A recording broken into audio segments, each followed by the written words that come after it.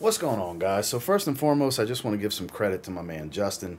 Uh, I was watching his newest video yesterday. Well, actually, at the recording of this video, it came out today, and uh, he covered some of his favorite floral fragrances based around uh, rose and a couple different notes outside of that, iris and such. And I just thought it was such a great video. I know I had people reach out to me sporadically over the last six months or so asking me to update my floral list. It's been over two years since I did an iris video or anything like that. So um, I wanted to go ahead and cover 10 of my favorites because there's still some, a lot of guys out there that watch this channel that are kind of skeptical to maybe dive into more floral heavy fragrances because I get it, there's a stigma for florals have to be for the ladies, but like Justin said in his video, it's a naturally occurring and growing plant. It doesn't have a gender. If you either like the smell or you don't.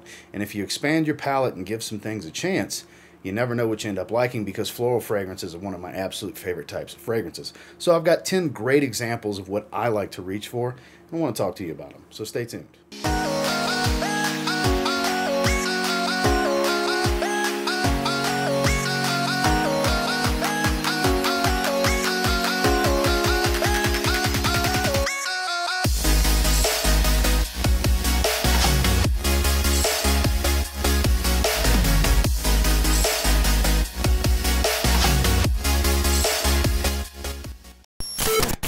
Think we'll ease you in with one of the most popular floral fragrances for men that's very clean, very soapy, more on the safe side, I guess you could say.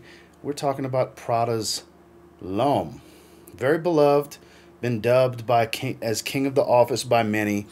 Um, it's definitely up there. It's one of the best fragrances to wear in an office setting for sure. And nobody does soapy quite like Iris when it comes to taking a floral note and making it very soapy and clean. They do a great job with lavender, they do a great job with neroli, and they do a great job with iris as well. Here you're going to get a little bit of a combination. I believe there is a little bit of neroli in here actually. Um, you have some cardamom, some pepper. You have a couple different things giving it some more character and some more depth to where it's not just this clean shower gel type of aromatic fragrance. You're going to get a little bit of this soft powdery tone from the iris and the combination of the iris and neroli give this nice soapy aromatic feel to it. Well again without being too soapy and then it's not too powdery. The spices are here to give it a, provide a little bit of backbone a little bit of bite um, and it does kind of keep it from going too far in the too feminine territory to where it's a little uncomfortable for some guys. This fragrance is masterfully done in my opinion. This is one of the best floral fragrances ever created for men. I love the L'Eau flanker and the intense flanker. They are both fantastic. They have not done I haven't tried Water Splash. I've heard great things and I heard Absolu is kind of an interesting one, but I'm pretty confident both of those fragrances are good as well. I don't think they know how to make a bad fragrance in this line, and it's one that is absolutely worth getting your nose on. Like I said, it's one of the safer plays to really kind of dabble into iris and men's floral fragrances as a whole, just to see how you're going to feel about it because it's more soapy than it is bouquet of flowers type of floral, which I think is one of the leading misconceptions when guys think floral fragrances to wear on their own skin. So get your nose on this one if you haven't yet. It's a solid performer. It's a great fragrance. It's Prada. The next fragrance we're going to be discussing is based around the note of rose. So it's the newest release from one of my beloved luxury niche houses. We're talking about Argos. It is called Adonis Awakens. Now, first and foremost, look at this beautiful artwork on the detail of the enamel painting and the texture detail of this plate. Just an absolute work of art. I mean, just absolutely beautiful. The presentations, they're second to none. They really are. Even looking through on the back side, you can read the print on the back of the plate. Just beautiful stuff. So what's special about this is it's a very masculine rose. Which, yes, guys, there are masculine rose fragrances out there, and this is one of them. It has a raspberry note that adds this kind of light, lightly sweet, fruity tone that doesn't come across super juicy, uh, too heavy of a red berry smell. It does provide help assist in providing a little bit of a radiant quality to this rose. This rose kind of comes off a little bit on the warmer side because there's some soft blonde warm woods here, um, such as the sandalwood, um, and I believe even some of the cashmere wood that was used in Danaë, a previous release. It's kind of like the evolution of that fragrance because that's a beautiful blonde wood, soothing, sensual fragrance. Here you're going to find all of those qualities with the addition of this radiance of the rose. There's a little bit of fruity sweetness. There's a touch of spice here as well.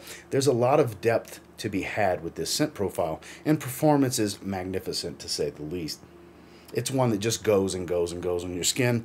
Uh, I've yet to experience it becoming a skin scent. It is pretty new to my collection. I've only given it two full wearings at the recording of this. The day this video goes live, it will be my official third full wearing. I do plan on wearing this uh, tomorrow at the recording of this.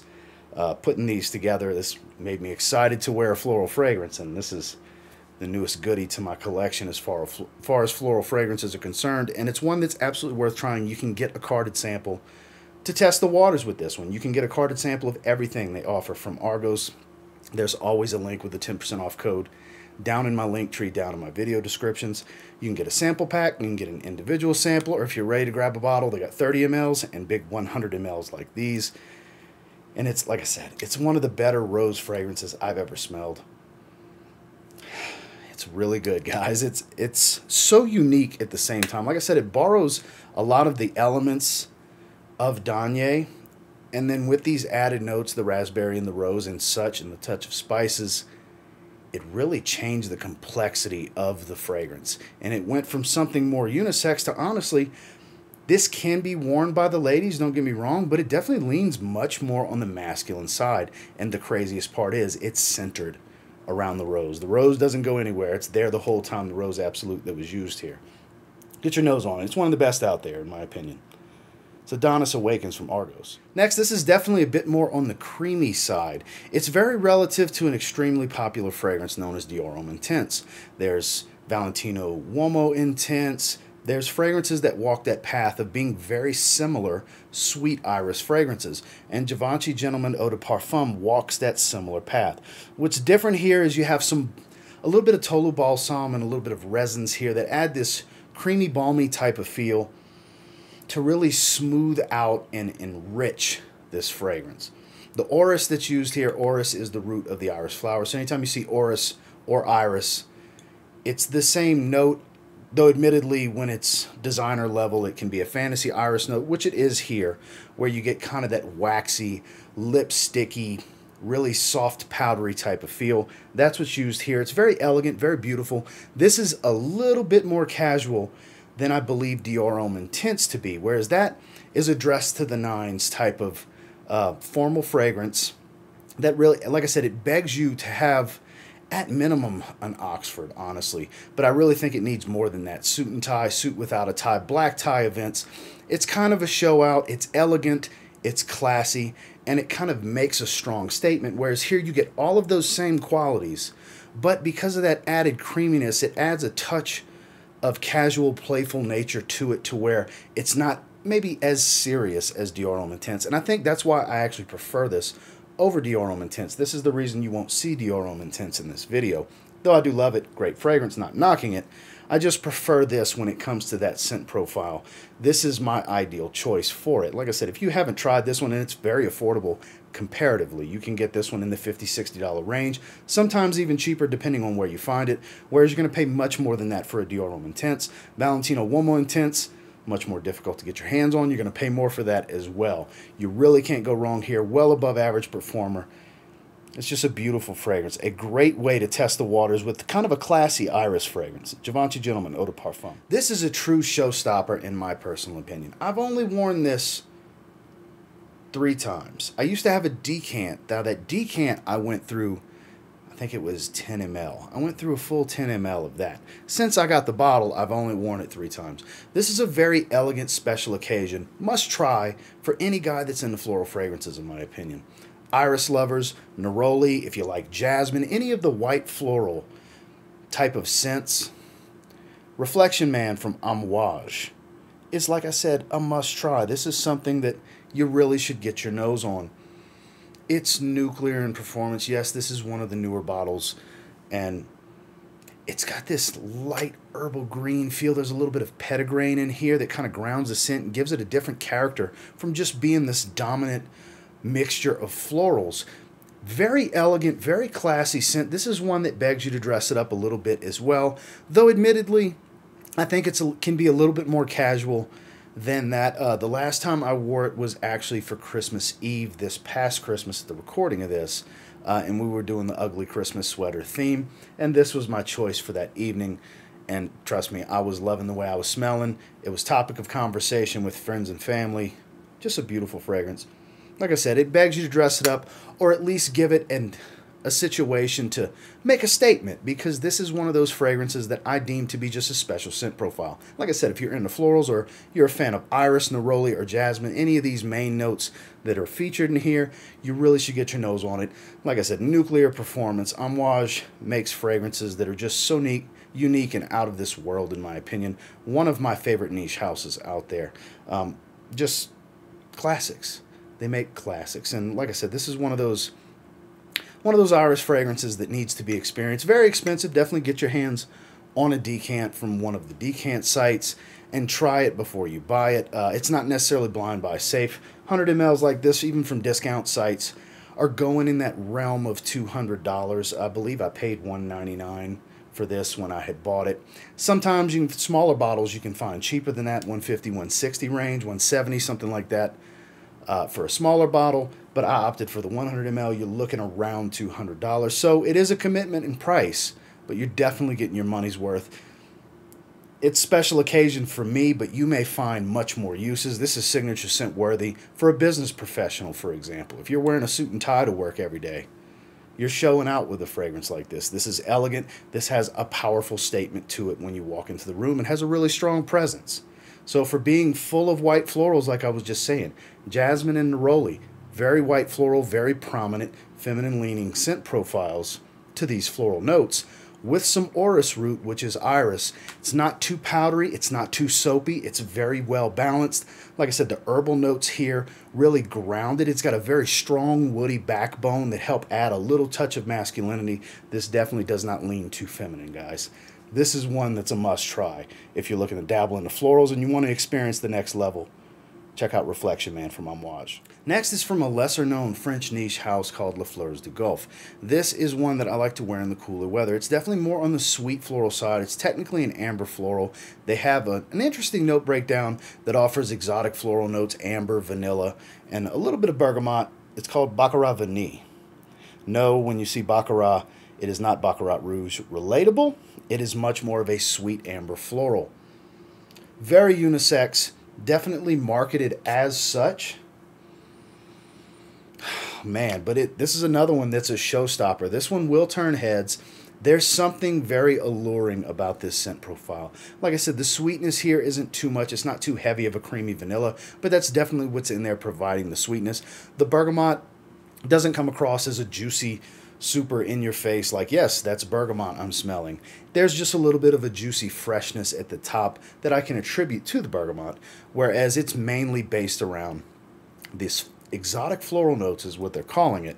So it's a variety of florals. I can't really detect anything specific. I'm sure there's a bit of rose in there, a bit of jasmine, things like that. It has that bouquet type of smell, but it's very grounded with this warm amber at the same time. Definitely leans more on the feminine side. This one's a little bit more of a challenge for those of you that aren't used to trying floral scents on your skin. So this is one you may want to work your way up to, but if you're looking for a unique experience that will stand out, it will turn heads, this will start a conversation. And you're kind of going to veer out a little bit. Confidence is key when wearing fragrances like this. Like I said, it's not the most masculine fragrance, obviously, but it's also not the most feminine definitely worth trying. Like I said, this is a head turner. It's called Baccara Vanille from the Fleurs du Golfe. Now, one of the reasons that Dior Homme Intense isn't in this video was, number one, I had a relatable scent profile already with Givenchy Gentleman EDP, and what for me, the ultimate in the line in the first place is Dior Homme Parfum. I knew I was going to feature that in this video. Admittedly, the whole former line from Dior Homme, Original, Dior O, Eau, Intense, 2012 Dior Sport, Dior Parfum. All of the iris-based fragrances in this line are phenomenal. I love them. They're this is the main line that got me so heavy into the note of iris, and these fragrances in this line feature that ever so popular, ever so polarizing, ever so challenging for some guys, lipsticky, waxy fantasy iris note. This is one of the fragrances in the line that has that lipstick makeup bag type of feel to the iris. But what's different here is you have a bit of an animalic leather, a touch of oud. There's a little bit of rose here, but I don't really get much of that. There's some orange at the top. There is a little bit of citrusy freshness, but it's mostly this animalic touch. As it dries down, there's a creamy sandalwood that kind of takes over the fragrance and it lightens it up greatly because it's a very dark fragrance in the top and the more and more it settles and dries, it gets smoother and creamier over time. Like I said, you're looking at that iris without it being as dominant as it is in the other fragrances in the line, whereas the leather, this is actually classified as a leather fragrance because it's centered around leather. Gorgeous, one of the most masterfully composed fragrances for men ever created, in my personal opinion. This is top five all time for me, guys. Uh, I do have a backup bottle. Even if I never get to it, I don't care. I wanted to make sure I had five ounces of this fragrance. So in the event I need a spray, I'll always have a spray. It's that damn good in my opinion. Granted, these 75 mLs, these older style bottles, are a bit harder to find these days. On eBay, you're looking at astronomically ridiculous resale prices, but there is still in production the newer 100 milliliter bottles that, from what I'm told, is a little bit fresher technically, but the same scent profile overall. Nothing really different here. Um, it, this is a nuclear performer. I've heard that's a very good performer as well. This one still can dress up very well, but it has kind of that bad boy edge to it. This one works well with like a bomber jacket, a leather jacket, those types of evening situations. Yes, you can wear this one during the day, but this one just begs you to take it out at night and go have drinks with friends, with your girl, whatever. This is go out and have a good time at night, show out. This is a show out type of fragrance. A lot of these really are. They're interesting conversation starters because they're unique scent profiles. And again, the average guy isn't wearing a floral dominated fragrance, whereas not as dominated here like it is at others in the line. You still get a nice dose of that fantasy iris note. It's still nice and powdery, has a little bit of that waxy lipstick quality, but like I said before, it's based around this rough and tumble, slightly animalic leather. Just an absolutely beautiful fragrance that I think everyone should experience at some point is Dior Homme Parfum. Now this next one has a strong similarity to a very popular fragrance, a very popular Maison Francis Kurkdjian fragrance. We're talking about Baccarat Rouge 540. This is kind of Mancera's take on it, but it's much more floral dominant. You're going to get a lot more of the jasmine than you do in Baccarat Rouge. We're talking about Instant Crush. This is another one that's a ridiculous performer, guys. You don't need a lot of sprays of this one. It is, a, and this is the magnetic cap as well. One of the newer styles. I've never sprayed more than four sprays because I just don't need to. So you're going to get some spices here. You're going to get a touch of that saffron to give you a little bit of a leathery feel. It is warm spicy at its core, but it's heavy white floral at the same time. It's dosed full of amberwood, this lovely ambery woody type of man-made synthetic that really gives it a lot of this power that I was talking about. Really pushes.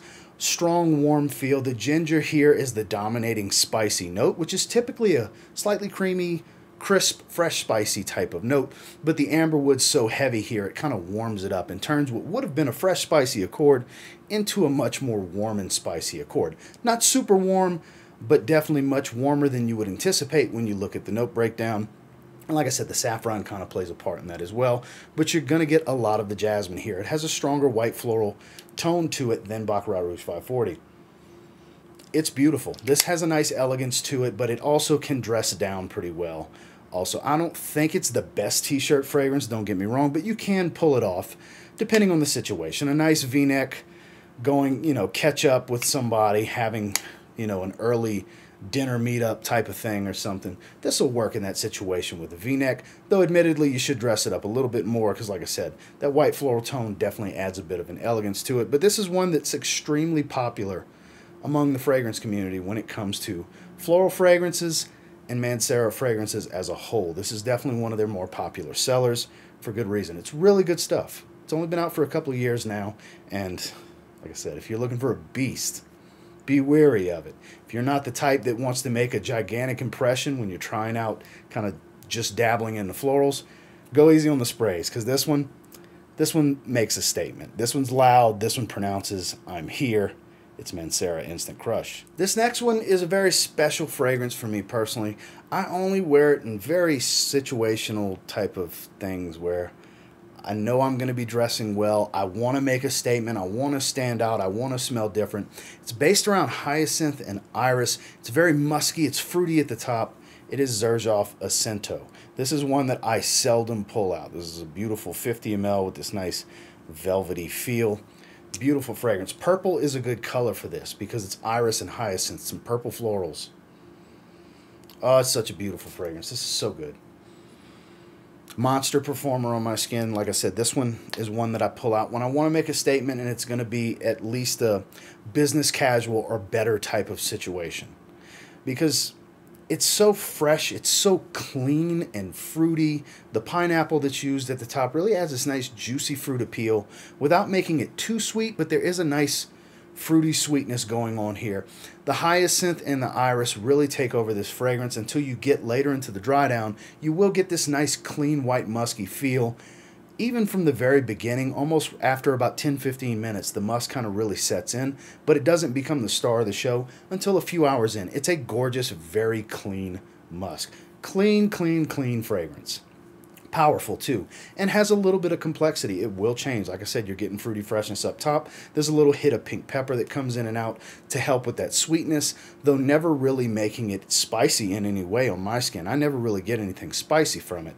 Um, and it's definitely on the more powdery side. The floral tones here do offer a bit more powder than some are probably used to but the, bit, the beauty of this one is it's super high quality you will stand out. You won't smell cheap. It won't smell like some cheap flowers.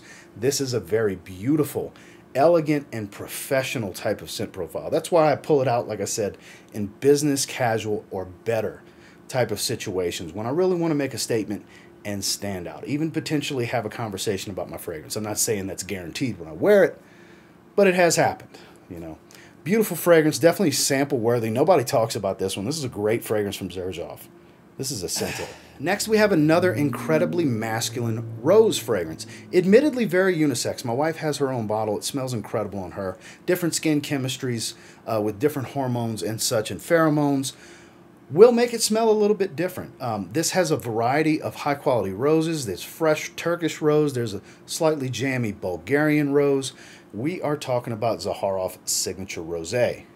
My favorite fragrance from the house hands down. For as good as tobacco and all these other fragrances are, rosé is a showstopper. Can be worn year round. Actually works really well in the summertime. Um, this was featured in Justin's video as well, and I totally agree with him. Um, how it works in the summer that he was referring to, I've smelled it on him in the summer. It's got this light sweet oud type of feel with this freshness on his skin. I picked him up from the airport and he was wearing it. I've told that story before. For me, on my skin, the incense pops. The olibanum tears that's used here screams off of my skin from start to finish. It's more about incense than it is about rose for me. Rose incense is what George Zaharoff was trying to capture with the storytelling of this fragrance, and uh, he absolutely did so. The sweetness here is there, but it's not too much. There's a sugarcane note and a, a vanilla bean note, if I remember correctly. And when you hear those two, it may sound like it's going to be really sweet. And there is a nice underlying lightly thick sweetness to it, but it's underlying. It's not heavy. It doesn't take over the fragrance. By no means would I call this a very sweet fragrance. And the oud here offers this warm wood appeal without having that oudy smell that some may be a little concerned about. It doesn't smell like, you know, the thousands of oud rose fragrances that are on the market because it's at its core, it's not really an oud rose fragrance. It's a rose incense. And it's beautifully done. This is one that makes a statement. I have gotten many compliments wearing this fragrance. I wear it for a variety of situations casually, dressed up, dinner dates, going run errands, going to the grocery store. I've worn it for just about everything. I don't wear it to the gym, obviously. I think it's a little bit much for that and not the best choice. But uh, hey, if you want to wear it to the gym, wear it to the gym. But definitely one of the more masculine, show stopping type of rose fragrances I've ever smelled.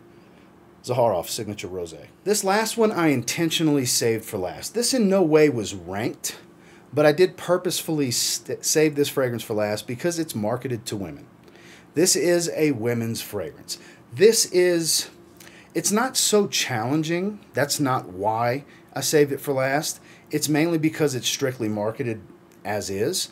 Uh, it's not marketed as unisex, though I deem it to be very unisex. If you like rose, if you like iris, you will like this. It's a simplistic simplistic fragrance in its note breakdown, but the blend and the quality is just lights out.